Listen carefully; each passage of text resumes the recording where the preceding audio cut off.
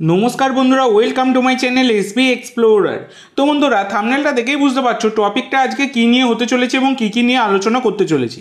তো first of all তোমাদেরকে যে আপডেটটা দেবো, তো বন্ধুরা, তোমরা সকলেই জানতে, আজকে জেসন কামিন্সের ম্যাচ রয়েছে। মানে জেসন কামিন্স যে ক্লাবে খেলেন সেন্ট্রাল কোস্ট ম্যারিনার্স তার সাথে কিন্তু অ্যাডিলেট ইউনাইটেডের ম্যাচ ছিল সেমিফাইনাল ওয়ান তো সেই ম্যাচটা কিন্তু জিতে গেছে কামিন্সের দল সেন্ট্রাল কোস্ট ম্যারিনার্স এবং সেখানে কিন্তু জয়সূচক গোলটা এনে দিয়েছিলেন জেসন কামিন্স দারুণ পারফরমেন্স করেছেন জেসন কামিন্স দেখো জেসন কামিন্সের খেলা আমরা মেনলি ইউটিউবে তার হাইলাইটস দেখেছি। তার লাইভ খেলা কিন্তু বিশেষ করে আমি দেখিনি। আজকে আমি ফার্স্ট টাইম দেখলাম এই খেলাটা ইউটিউবে দেখাচ্ছিল লাইভ এ লিগের অফিসিয়াল ইউটিউব পেজে তো সেখানে কিন্তু দারুণ ফুটবল খেলা কিন্তু দেখেছি আমরা। মানে জেসন কামিন্স যে ধরনের প্লেয়ার মানে তার পজিশন জ্ঞান, কোথায় দাঁড়াতে হবে, কোথায় থ্রু আসছে এবং বিশেষ করে শুধু গোল করা নয়, তিনি গোল করাতেও সিদ্ধ সিদ্ধহস্ত। তিনি যে আজকে ম্যাচটা দিয়ে মানে যে থ্রুগুলো বাড়াচ্ছিলেন দারুণ কিন্তু থ্রুগুলো দিচ্ছিলেন তিনি।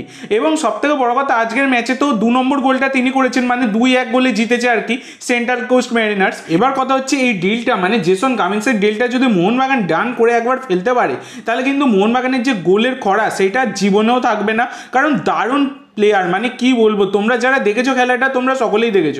এবং সেন্ট্রাল কোস্ট ম্যারিনার্সের যিনি গোলকিপার তিনি একজন চুম্বক গোলকিপার বলা যায়।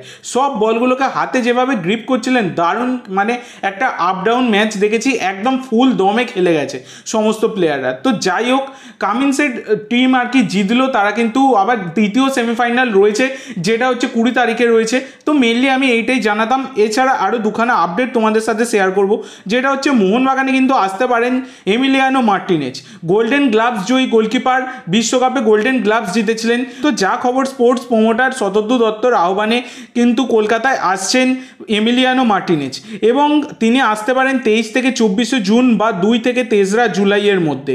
এবং তার বিভিন্ন কর্মসূচির মধ্যে কিন্তু মোহনবাগান মাঠে মানে মোহনবাগান ক্লাবে আসার কিন্তু একটা কর্মসূচিও কিন্তু তার মধ্যে রয়েছে। তো দেখা যাক এরপর যে আপডেটটা দেবো সেটা একটা প্লেয়ারকে নিয়ে, যার নাম ভিঘ্নেশ দক্ষিণামূর্তি।